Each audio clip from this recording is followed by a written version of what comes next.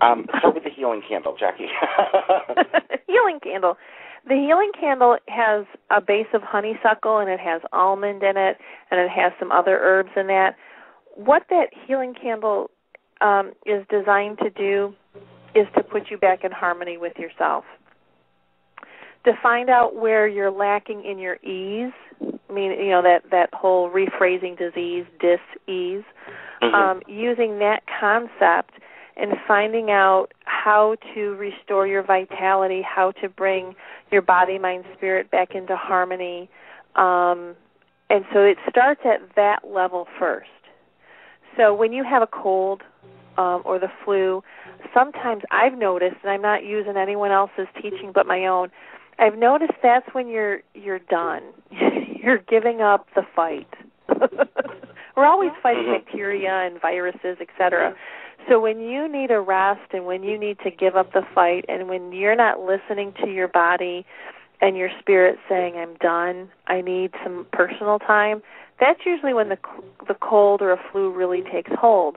So when I'm feeling like that, that's when I'll bring out the healing candle to to help me bring myself back into harmony and then be able to take that time for myself to stop the craziness, stop the insanity. Um and and so that's what how the healing candle works. This candle can get me a little verklempt because mm-hmm. a long time ago this one woman sent me this letter and and she said she's terminal and she goes i know these candles aren't going to cure my cancer but they're the only thing that bring me peace during my journey of transition and i was just i know i know you got to gulp on that one don't you yeah i i had to take a step back there for a second psychically it, it, and, and yeah i know i was like oh my god well, I did get a letter from her family because her family was buying her the healing candles by the case. When I found that out, I sent her a case. Because, mm-hmm. I mean, what else am I going to do at that point, really?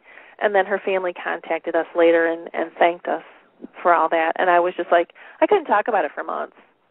Oh, yeah, this is a.